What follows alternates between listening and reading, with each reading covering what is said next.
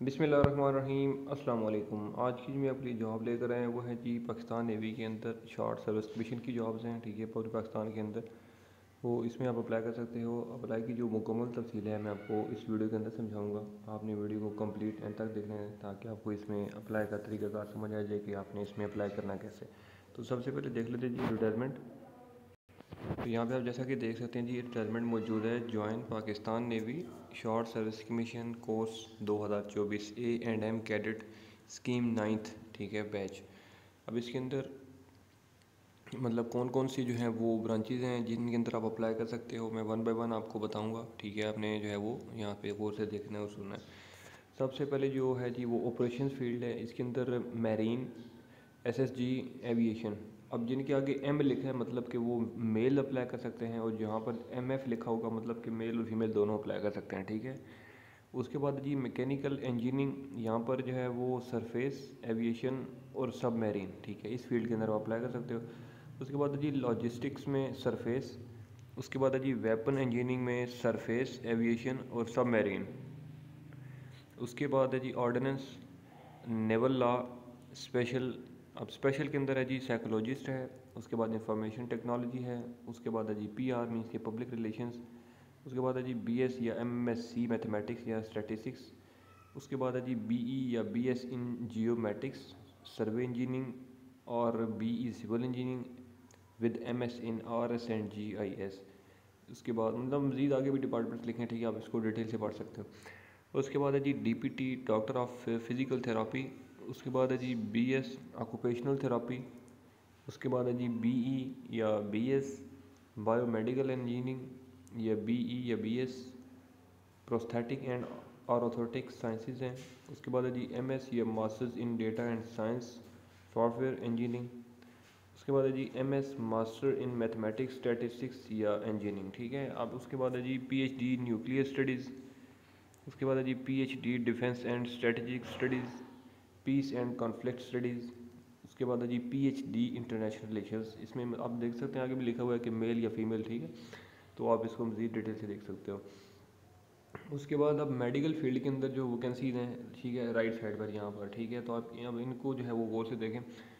G D M ओज हैं, ठीक है? उसके बाद है जी कार्डिक एनेस्थेसिया जनरल एनेस्थेसिया उसके बाद है जी इंटेंसिविस्ट उसके बाद है कार्डियोलॉजिस्ट है जनरल मेडिसन उसके बाद है जी एंटोक्रिनोलॉजी है, ऑनकोलॉजी है, उसके बाद जी critical care medicine emergency medicine as E R specialist, उसके बाद नेप्रोलॉजी है गैस्ट्रोंट्रोलॉजी है, ठीक है ओथालमोलॉजी है, पेडियाट्रिक्स है, उसके बाद जी न्योनाटोलॉजी पेडियाट्रिक कार्डियोलॉजी है, ठीक है, पैथोलॉजी, उसके बाद रेडियालॉजी है, रिहाब मेडिसन, उसके बाद general surgery thoracic surgery cardiac surgery plastic surgery ठीक है, उसके बाद आर्थोपेडिक सर्जरी उसके बाद है जी ऑर्थोडोंटिक सर्जरी है, ठीक है पेरियोडोंटिक सर्जरी ठीक है। तो उसके बाद आखिरी जो फ़ील्ड है जी वो है इंग्लिश एजुकेशन सॉरी अब एजुकेशन के अंदर एमएस या एमफिल इंग्लिश एमएस या एमफिल मैथमेटिक्स एमएस या एमफिल मैनेजमेंट साइंसेज ठीक है। तो ये वो तमाम की तमाम ब्रांचेस थी जिनमें आप अप्लाई कर सकते हो, ठीक है? तो इसमें अप्लाई करने का क्या तरीका है जी? ठीक है एज़ यूजुअल इनकी जो ऑफिशियल वेबसाइट है, ठीक है, मैं आपको वो बता देता हूँ और वहाँ पे जाके आपने इसमें ऑनलाइन अप्लाई करना है, ठीक है जी? तो यहाँ पे जैसे लिखा हुआ है जी कि eligibility conditions for unmarried male citizen of Pakistan as a doctor through ninth batch M cadet scheme अब इसके अंदर एज की जो लिमिट है, वो है बाईस से छब्बीस साल तक, ठीक है? हाइट आपकी पाँच फुट चार इंचज़ होनी चाहिए।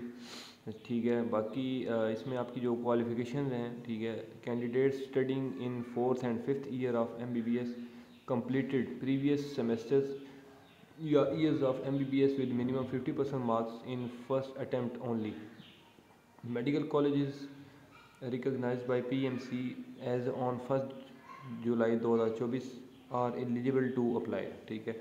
अब इसके अंदर registration from twenty six November two thousand twenty three to ten December तक, ठीक है? मीन्स के छब्बीस नवंबर से लेकर आपके पास दस दस दिसंबर तक टाइम है ऑनलाइन अप्लाई करने का, ठीक है? तो इसमें ऑनलाइन अप्लाई करने का तरीका मैं आपको बता देता हूँ। आपने सबसे पहले जनाब गूगल पे आना है। गूगल पे आने के बाद आपने गूगल पर लिखना है join Pak navy dot G O V dot P K ठीक है? आप ये लिखेंगे तो आपने थोड़ा सा नीचे आ जाना है, ठीक है? थोड़ा सा नीचे आएँगे तो आपके सामने इस तरह से जो है वो ऊपर लिखा हुआ है careers in Pakistan navy latest advertisement जो कि एडवर्टाइजमेंट मैं आपको भी बता रहा था, ठीक है?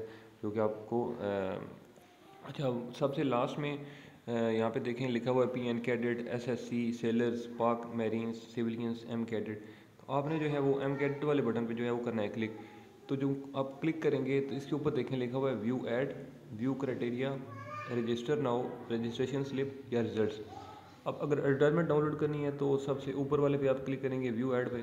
और अगर आपने रजिस्टर करना है मीन्स की अप्लाई करना है तो आपने रजिस्टर नाउ वाले बटन पे कर देना है जी क्लिक ठीक है जी? तो जो ही आप इस पर क्लिक करेंगे तो आपके सामने रजिस्ट्रेशन फॉर्म ओपन हो जाएगा, कुछ इस तरह से। ठीक है? तो आपने यहाँ पर सेलेक्ट कर लेना है कि आपने जो है वो मेडिकल में की फ़ील्ड में अप्लाई करना है, या शॉर्ट सर्विस कमीशन में अपने अप्लाई करना है। ठीक है?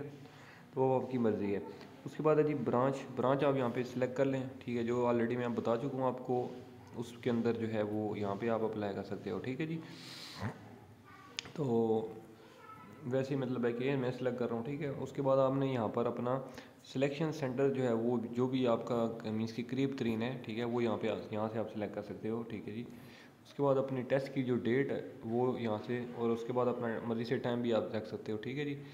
अच्छा उसके बाद आप देखें, अब जब जो मैंने जॉब सेलेक्ट की है, उसकी डिटेल्स यहाँ पर नीचे आ चुकी हैं कि मेरी, जिसमें जो है एज कितनी होनी चाहिए, कद कितना होना चाहिए, इसमें मेरी तालीम क्या होनी चाहिए, ठीक है? और मीन्स की इसमें रैंक क्या होगा, यहाँ तक लिखा हुआ है, ठीक है? उसके बाद नीचे लिखा है जी कैंडिडेट टाइप आप सिविलियन हैं या सर्विस ऑलरेडी कर रहे हैं, ठीक है? तो वो आप यहाँ से सिलेक्ट कर सकते हो। उसके बाद यहाँ पे अपने पर्सनल पिक्चर अपने अपलोड करनी है प्रोफ़ाइल पिक्चर जिसको कहते हो। अगर प्रोफ़ाइल पिक्चर आपकी ट्वेंटी के बी से ज़्यादा है, ठीक है तो फिर यहाँ पे अपलोड नहीं हो सकती। तो उसके लिए इन्होंने लिंक दिया हुआ है, रेड कलर की जो लिखाई हुई हुई है to reduce your picture size to twenty K B you may use the this link ठीक है तो आप रीसाइज पिक्चर पे जो ही क्लिक करोगे तो आपको ये एक नई वेबसाइट पे ले जाएगा। वहाँ पे आप अपनी कोई भी पिक्चर अपलोड करके उसको, उसका साइज़ कम कर सकते हो, ठीक है? तो मीन्स कि आपने ट्वेंटी के बी का साइज़ इसमें अपलोड करना है पिक्चर का। नीचे आपकी पर्सनल इन्फॉर्मेशन आ जाएगी, ठीक है? वो यहाँ पे आपने कंप्लीट एंटर करनी है, उसके बाद आपकी एकेडमिक क्वालिफिकेशन आ जाएँगी, वो आपने यहाँ पे जो है वो लाजमी एंटर करनी है, ठीक है? तो इसी तरह से जो है वो कंप्लीट आपने अपना पर्सनल जो एड्रेस है आपका, ठीक है? वो भी यहाँ पे लिखना है, ठीक है जी? तो आपको इस वीडियो में जो भी कोई भी किसी किस्म का अगर कोई इशू हो तो आप मुझे इस वीडियो के नीचे कमेंट कर सकते हो, ठीक है? किसी भी हवाले से कोई भी इन्फॉर्मेशन लेनी हो या इस वीडियो में कोई चीज़ जो आपको ना समझ आई हो या मेरा व्हाट्सएप नंबर भी मौजूद है मेरे चैनल के अबाउट में आपको मेरा व्हाट्सएप नंबर मिल जाएगा तो किसी भी इन्फॉर्मेशन के लिए आप मुझसे रब्ता कर सकते हो। इन मैं अगली वीडियो में आपकी खिदमत में दोबारा हाजिर हूँ तब तक लिए मुझे दें इजाज़त, अल्लाह हाफिज़।